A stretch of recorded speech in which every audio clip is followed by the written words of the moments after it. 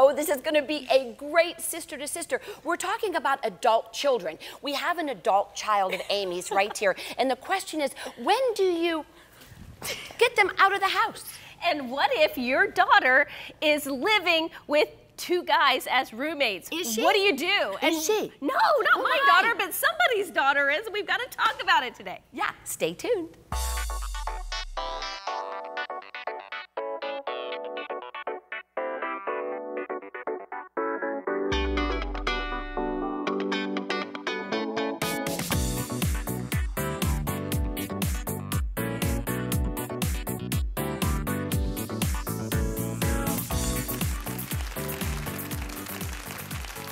Welcome to Sister to Sister. If you've never seen the show, welcome, but it's a little different today. And here's why. We are so excited. We have Amy Schaefer's daughter, Gloria, is with us today. Yay! She's gonna be one of the sisters, and that's when the audience claps. Yeah. Thank you, thank you. Her grandma's here too, she's gonna clap. Hey, listen, this is gonna be a really good show because we're gonna have a different opinion, a little bit younger, maybe. It's okay. Um, here's the question. Here's the question. Yeah. This that I alluded to in the open, this is a real question. People wanna know. Someone wrote to us, at what point do you give your adult child the boot and say, go to your own house? Flo. You never put your children out. They leave when it's time to cleave. So you never put your children out. And you always let them know, you know, you can always come back home if they go out and they make a mistake. However, Yeah. I will say, if the child is disrespectful, don't ever put them out. Knock them out. and somebody will have to carry them out. So never put your children out. I like it. I, I knew you would say that. Well, Roxanne, what about you? Oh, it depends on who you are and who the child is. I love my kids. I'd never kick them out. See, I'm like that too. Uh, they they're better in many respects than I am. They they challenge me. They give me a new perspective in life. They challenge my motives, my intents. God's put them as gifts in my life. Now, if your child is go deadbeat or not working or find ways to use the time you're together to make them productive Right. instead of just booting them out give them resources they need to be able to be successful when you do decide to kick them out Gloria, do you think that parents should give their children a boot? Interesting. Um, I do, but I think like there's certain scenarios where you should. Like if your kid is wiling out and doing whatever they want and living under your roof, I think yeah, maybe you should kick them out. But I mean, there's seasons where you're in school or you're trying to save money or trying to pay for things, mm-hmm. and I think like that's the people who care about you the most. But I like that. I do think the parents should set up boundaries because I know being a kid, you can like take advantage because you know your parents are going to do whatever for you. Do you know anyone? Do you know anyone whose parents said time to move? Actually, yeah, I do, have friends whose like parents kind of just wanted them out. They're like, you're independent now, like go do your own thing. Mm-hmm. Wow. So, but my parents, you know, they're great. No, no, They're no. not- they're not we that. moved Gloria's bedroom. God forbid. She's been gone for, you know, two years at school. So we moved Gabe into her bedroom to give him some more space. He's a junior. And it she's like, what? That's like a shrine. Like you don't move my bedroom and my stuff. So she already felt like she was being moved out just by giving one kid a bigger bedroom. But did you ask her? Good. No. Did I did I need to ask her? Yeah, it was her room. I think, I mean, to- for me to come home as a child, ooh, our grandma. I told her. I told her. Oh, that's good What If, in the it's, world? if it's in not, I mean, if, Who if she invited you? Yeah, right. preach it preach it I just, I mean, I'm just No, I like this. putting myself in that position, putting yourself in that position. If you know this, this is your home. You, she has, she's not married yet. She's in college. She's coming back home, and all of a sudden, I'm like in the garage now. You gave my room to my, Ooh, my, I my like it. brothers. I mean, that's kind of like, i like that yeah, but, yeah that's know, I don't have anything to do with that. I don't have anything. You need a room, baby. yeah. Go on to the next question. I'm going to go on because I want to know what Amy has to say about this one. Yeah. All right, Amy, listen to this question. Someone wrote this to us. She said, I want to move closer to my grandchildren, but my husband does not. He says our life and our church, everything's here. And it doesn't matter that our family are states away. Am I wrong for wanting to go? And she writes, sorry, I don't want to resent my husband for saying no. I'm coming from the perspective of my mom and dad, what they did for me. Um, I don't have grandchildren yet, but when I do, I want to see them a lot. I know that. But um, my mom and dad, when we said, Mom, we're, we're moving to Pittsburgh, we're planning a church, God has called us there. They did not feel the call of God to go to Pittsburgh. Their life and everything was in Oklahoma. Good. So n- my mom and dad said, "You go and you do the will of God, and we're behind you 100%." So without manipulation, without, I mean, we always tear up when we're parting, but never ever have has she manipulated me in a way where I felt like I couldn't be where God has called me to be. And God has always made up the difference where we could meet up with the grandchildren there, here, beach, wherever. Good, good. And you just really have to trust God. It doesn't always work out that you live by your grandchildren all the time. And there is a sacrifice in that. Well, let me ask your daughter how she feels about that. Now, you're out of state. Yeah. Do you want your mom and dad to move by you? No. well, okay. The way I look at it is like, like she said. That's really funny. I'm sorry. well, for other reasons, of course. But like, I know I'm where I'm supposed to be, and I'm listening to the call of God on my life, just like my mom said her parents did with her. And I know my parents have this whole church and ministry in Pittsburgh. So why would I want them to be pulled away from what God's called them to do where they're at? And why would I want to be pulled away from where I'm supposed to be? Mm-hmm. so it's right. like just like they gave me the grace to go do what I'm supposed to do. Why wouldn't I Good extend girl. that back to Good them? girl. So Good can I throw a different perspective in here? I, I love we're, we're all talking about you know the will of God and you know and but everybody is not a Christian or not as mat- mature, um, and in some things just it's just not that deep. You you, you I know of a situation where the family the the husband and wife were uh, relocating. And of course, as mothers, we're, we want to be near our children Right. normally, you know. Um, unless you're a little bit like me, but that's not the subject. but anyway, um, the uh, something the husband said to me that stuck with me. He said he said to his wife, "The children have had you for 40 years. Can I please just have you to myself Wow. for the next few years?" So it really made me think. You know, hey. depending on like when you got married, you Bye-bye. know, like maybe you dated for a year and then you got married and Yeah, you started having children and now the children are grown and up off the house. Where is our time? So when I hear like things like this, it sometimes Yeah. makes me wonder where it, uh, where are, where is the relationship? Yeah. You know, especially with the spouse. I mean, it's it's our time. Mm-hmm. You know, I love like my that. children, and God knows I love my grandchildren. Right, you I know, like but that. I I like time with me too. I like time that. by myself. I really like that. Mm-hmm. And I'm going to move to this next question because it's good, and I'm going to Gloria. Here's why. Okay, this is really good because I'm not sure if you really if this applies. Yes. Okay, so a, ra- a lady writes to us. My daughter is renting an apartment with two friends that are guys. I'm not pleased. I don't think it's right. She said there's nothing wrong with it. I'm old-fashioned. What do you think? Oh, True. okay. Tell us the yeah. truth. Um, well, I am somebody who has a lot of friends who, you know, just a lot of friends in general, but some are in that situation. And some of them, it's working, weirdly enough. Like, it's a very platonic, like, friendship. Mm-hmm. And honestly, not that I would, because, like, give no, No, appearance of evil and, you know, just because of what I believe and that kind of stuff. But, like, my friends, I don't judge them, I don't, like, condemn them or anything like that. But I have seen the side where parents do come off really judgmental and make them like feel like they're just making all the wrong decisions because they're living with two guys. And I'm like, okay, well, if she's a grown adult, she's probably thought this through and has her reasons for doing this. And I think as a mom, like the way if I decided to do this, not saying I'm not, I'm not gonna mm-hmm. do that, but if I did that, I wouldn't want my mom to start some huge argument with me and just create strife in our relationship. Because I think parents tend to do that because they're like, oh, I know best and you know better than to do that.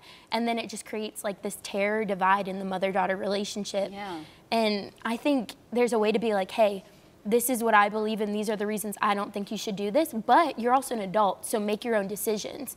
But I at like least it. put that out and there. I love about coming off judgmental too. Yeah. So Amy, what do you think about what oh, she said? yeah, I'd be at the door. Yeah, Yeah. you get out now. We're packing your stuff up now. Oh, yeah, she's gonna walk around in a little t-shirt and underwear headed to the bathroom. Uh, Come on, with two guys who are like, oh, we're just best friends. Yeah, right. Somebody's gonna like somebody. You're just, you're opening a door that probably should not be opened there. okay, that's good. Roxy, I you agree, have grown children. The Yeah. truth of the matter is, and maybe Roxy will speak more to this, if they're grown, really, how much say do you have?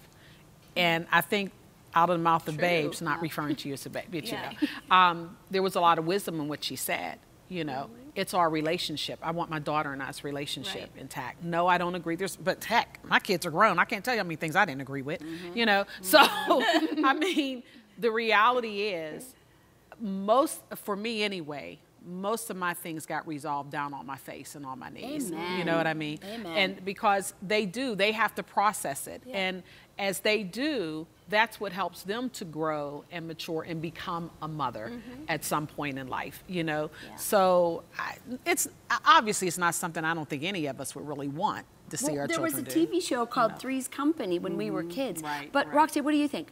I think uh, say your piece and let them make their decision. That's what. And That's what as I'm Flo, saying. as Flo says often, and I say it, they're working out their testimony. Yeah, yeah. Keep the communication open, Mm-hmm. whatever their decision finally is. Because there's so many things we're going to disagree with. Yeah. And are you disagreeing because it doesn't look right? That's a good. and how it That's makes good. me feel and how you're it doing makes you feel. And you know, our kids have certain principles about things that are strong to them, and they adhere to them. My daughters don't like me judging people, don't like me saying they should be, and and that has made me a better person to pull back. What am I doing wrong in my life that needs corrected? Then I could take out the log in somebody else's oh, eye. Wow. And you know, we also watch shows like Friends where they're all roommates. So we kind of have also seen this model of glorifying and glamifying men and women living together. But there could be some there could be some trouble. Right, and I think it depends on how old too. Well, also, I think if your parents are constantly interfering with every little decision you're making in life, how are you going to grow yourself? That's yeah, true. True. Mm-hmm. Ooh, come on. That's called the wisdom of Gloria. That's right. Stay with us because we have lots more with the sisters and Amy's daughter right after this.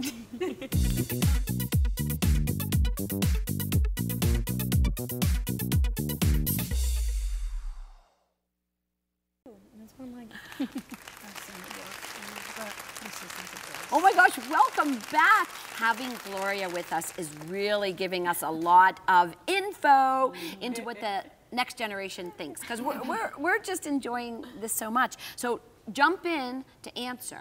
But this question you might not have an answer, I'm not sure. Roxanne, I'm going to come to you because this takes a mature Christian to answer this. Seriously. maturing is Right. Okay, well, no, no. Someone wrote to us. You write us these wild questions. Thank you. Thank you for giving to us. Um, she writes, My husband had an emotional affair with a coworker, and he's repented. He even moved jobs. That's good. I can't seem to get over it. Um, what do I do to let go? Or maybe it's something I don't let go of. Rocks. Well, we're assuming an emotional affair is that they were intimate in their conversations and their communications. guessing, yeah. And that sort of thing. That's well, that's what dangerous. my Yeah. assumption is on it. Yeah. You know, just because he moved doesn't mean he repented. Move jobs. Because the scripture says to produce fruits of repentance. So there's something that he's still doing that's causing her concern. Why does he need to talk to other women? Is he so full of himself? Is he really repented? If you've really repented, you're going to be producing fruits of repentance. you're going to go to your wife with your intimate questions. You're going to go to your wife for conversations about what you're worried about, what your needs are, what your concerns are. and really nobody else at an intimate level. And if he hasn't done that yet, I think that's causing her fear and concern.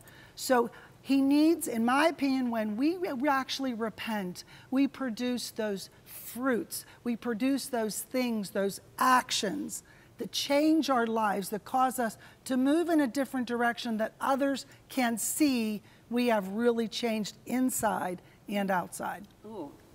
What do you think, Aim? I think trust is given, mistrust is earned. And so obviously, mistrust has been earned, so it, it's a betrayal. I mean, what leads after emo an emotional affair? I've, I've got you emotionally, now next is we get together physically. I mean, that's the next step. Um, so I think that there's a lot to work through in the relationship. I've, I've seen this happen. It is absolutely heartbreaking. There is betrayal. It, it has, it has and can lead to divorce. Um, but it, the bottom line is, is, is this, are you going to forgive? and can you let it go and can you move on and can you trust again? Well, that's the bottom line. See, we don't know. I mean, you're assuming mm -hmm. that he hasn't produced any fruit and you're assuming mm -hmm. that he was close to moving on to a physical affair. We don't know that. So I say to you, forgive him. I say forgive him. If he's repented to you and to God, we don't know his heart there. I love you for writing this question, but I tell you, forgive him and move forward. You're never going to go forward looking in the rearview mirror of what he did. Mm -hmm. Just think of the guy, he's never going to be able to do anything good ever again if you're always like bringing it up. Yeah. I don't know. What do you think, Flo? I agree with you actually, and, and I feel that one of the things here she's saying i can't seem to get over it right come on and, and i just want to just speak mm. to the mm. fact that i can forgive kathy but it can be a process of me getting over it right. the thing about an emotional affair is even though he, and that to me is some fruits of repentance, as, as right. she was sharing, that he he was willing to relocate. He did, but see, it'll always be. I can't see what's in your mind. That's the that's the hard thing about an emotional affair. Right, right. You know, even yeah. if something was physical and we relocated, well, I know you're not seeing her. You you know, uh, maybe I uh, I counsel couples, and and one of the things that a lot of them do, everybody has access to everything. You know. Mm-hmm. Um, and so I have no reason to, I, I may check things and I don't see anything, but I'm wondering what's in your mind when you're laying with me. Are you thinking about her? Or you mm-hmm. see? I can't mm-hmm. see what's in your mind, and I think that's part of the challenge. So I would take the approach of perhaps it would be for her to go receive some counseling, you know, and not just yes, he may have been the one to initially, um, as we would say, do the wrong, but I seem to be having problems letting go, and that's my problem. Yeah, that is that his. is your problem. Do you have a thought about this? I do. okay, good. I think I fully agree with all the forgiveness, but I think you can forgive and still have a root of bitterness in you. Like you can still be really bitter towards that person, and if you continue to let yourself be bitter, it's gonna ruin you. So it's going to end up like right. you're wanting him to be hurt or him to feel the pain, but like it's going to hurt you more than it is him if you just sit in that. That's right. And we're a Jesus show here. Mm -hmm. I mean, we're, we talk about taking the root of bitterness out of your heart and giving it to him. So I say to you, forgive him, move forward. He has another job. Trust him again. Amy said, trust is given. Mistrust, mistrust is earned. Is earned. Mm -hmm. Well, give him trust. That's what I say. Okay, good, good, good, good, good. I'm going to move on. And here's this question too. Uh, another lady writes to us. you girls, I'm glad you're watching. My friend says I need to release my son and he's struggling in life, so we'll, we'll, be praying. To the Lord, yes. She says that I step in too much to help him, but I don't know where the line is. Help, help, help. Mm. Amy, help. I think a mother carries a part of the heart of God where we nurture things to life. And the scripture says about our Father that when we make our bed in hell, He's there with us. Mm. So I'm saying if your kid mm. needs help, you should be right there when they need help. And it's, it, it's hard, it's ugly, it's painful, but I think that that represents in you the heart of God. I'm not talking about just right. dishing out money for, you know, some, but I'm talking about when they're re really struggling personally through things that we love them to life. who else is there for them if mm-hmm. not the mother? And I, I just wanted to say publicly, I'm so proud of you, Gloria. Mm-hmm. You know, we've been to hell and back, and we're sitting here today talking about the goodness and the faithfulness of God that I see in you, and I'm so proud of you. Thanks. So what about the friend? Is she, is she, is it, first of all, it's not your business, friend, telling the person, okay. So what do you think about a friend, that maybe would have said to your mom, you're out of, you don't need to help her anymore. I think you can only control what you can control. And of course it like depends on how old the kid is and like what situation they're in. But if they're a teenager and they're living in your house, Right, like right, right. you have a lot of control. If they're 27 years old and no longer like your full responsibility, like like my mom said, love them back to life, but you can only control what you can control and the rest you have to give to God. Mm-hmm. Because otherwise it's just gonna cause you like Drive unnecessary nuts. yeah. Yeah. That's good. What about you? I think you have to d- differentiate between a helper and an enabler. That's right. That's right. So if we help our kids to grow, I'm going to help pay for school. I'm going to help you look for a job. I'm going to help you learn to cook, whatever it might be. You can be a helper versus an enabler. Are you buying the alcohol? Are you doing the things that creates them to go further and further down? Are they one step closer on the ladder of their plan, their success in the Lord, or are they going deeper and deeper into the problem that they have? So look to see if you're a helper or an enabler. And God's a rescuer. We That's have right. done wrong. Oh, you did wrong, so I'm not going to help you. No, He is mm-hmm. the the Right. rescuer. Sometimes they need that lifeline because they've done everything wrong, and they need to know that somebody loves, them. them, The Lord them, loves them right. through you, and that Unconditional. you will be there to rescue. Amen. Amen. Flo, are you going to help? She said. But what about the, th- this? Is where I, I take a take a line here. Mm-hmm. The friend says. so cares? I know that's something. I, it's mm. not the friend's. But I These- see. I guess I take I take friendship very seriously. I don't call Okay. everybody my friends. I have a lot of acquaintances, and so I mm-hmm. a friend has permission to speak into my life. That's good. And a friend can mm-hmm. have a perspective that I can't.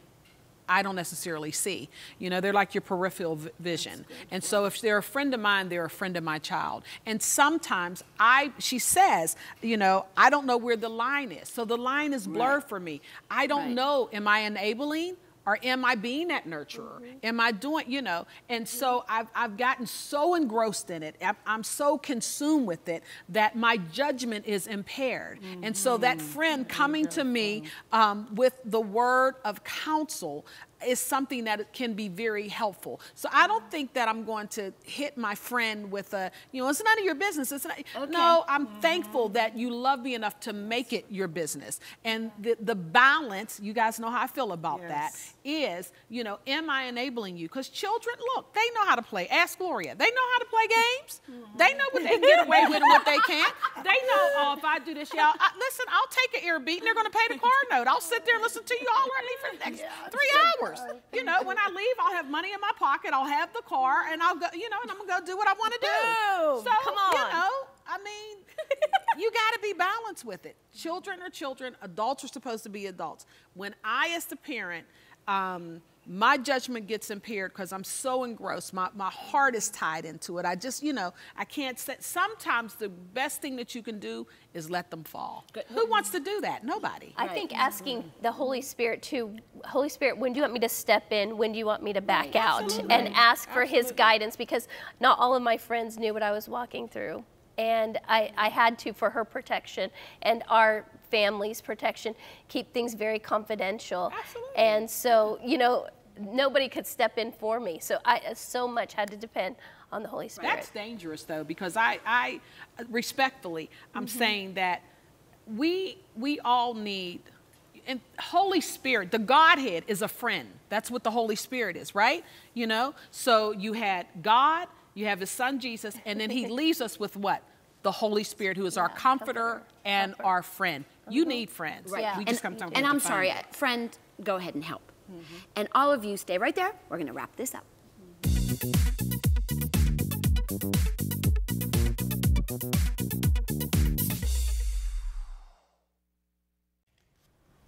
I hope you enjoyed that today. I'm so proud of my daughter. And you know what? I don't know what you're going through. Maybe you've been to hell and back with your kids. Just focus on Jesus, who is the author and the finisher and the developer of our faith and of our children's faith. It is so much work being a parent, and we are totally praying for you right now. let's end uh, this program with a scripture, and the scripture is in Psalm 94 19 in the multitude of my anxieties within me. Your comforts delight my soul. I love what it says in the message, and this might apply to some of us today. When I was upset and beside myself, have you ever just been beside yourself and you're just so upset? This is what God does in our life. You calm me down and you cheered me up. And I just pray for you today, no matter what you're walking through, no matter maybe you've had an emotional affair, you've been through a betrayal, you're going through struggles with kids, that you just give it all to God, that you trust Him with your life, you trust Him with your family, your kids, your business, your husband, everything. God is so faithful, and I promise you, He will show up again and again in your life. He is because He loves us. That's right. And I trust your daughter to do the last scripture. You know what we say, right? Yes. As iron sharpens iron, so the countenance of another man sharpens the other. Or a woman. Ooh. Or a woman. Or a sister. or sister. Right. Because you see, family, these girls and these girls' daughters really do make me a much better Kathy. We'll see you next time. We're sister to sister.